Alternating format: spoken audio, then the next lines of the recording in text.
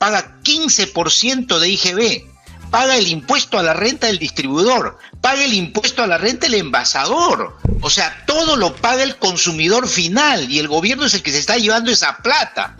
Segundo, Interbank del grupo Rodríguez Pastor saca ayer en un diario circulación nacional un aviso millonario que lo pagan los propios ahorristas. Dice, oye, tu cuenta sueldo te voy a pagar 0% de interés, pero no te preocupes, no te voy a cobrar mantenimiento. Fíjate tú. Y tercero, Indecopia ha sacado un informe donde en épocas de pandemia la acitromicina, que era el elemento más importante para curar el COVID, te costaba en las farmacias de las clínicas 45 soles.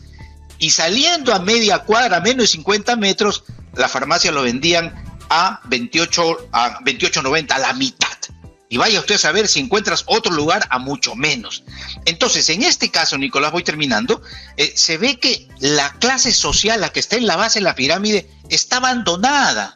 Sin embargo, ojo público, cuya fuente es Estados Financieros, Sociedad de Bolsa de Valores y Superintendencia de Banca y Seguros, nos da tres datos facilitos. Los supermercados en pandemia, supermercados, todos los que conocemos que vamos a comprar, 7 mil millones de soles han vendido. La farmacéutica de Rodríguez Pastor, ¿no es cierto? 14 mil 400 millones de soles. Y Alicor, solamente Alicor, ¿ah? la, de las ventas de, alimentos del Grupo Romero, 10 mil 131 millones de soles obviamente hay que decir en honor a la verdad que Alicor sí ha donado mascarillas, alimentos, oxígeno, en honor a la verdad, el resto no. Y termino. Forbes, que es, que es la entidad que reúne a los multimillonarios del mundo, para entrar a Forbes tienes que tener mil millones de dólares, ha notado que Rodríguez Pastor ha aumentado sus ganancias de 3.900 millones de dólares a 5.300 millones de dólares en pandemia. Concluyo, dos puntitos nada más. Debe haber un cambio en la constitución para que se favorezca no a las clases medias y altas que tienen derecho a favorecerse, pero pensar en la gente que está abajo, por ejemplo, el capítulo económico para los bancos.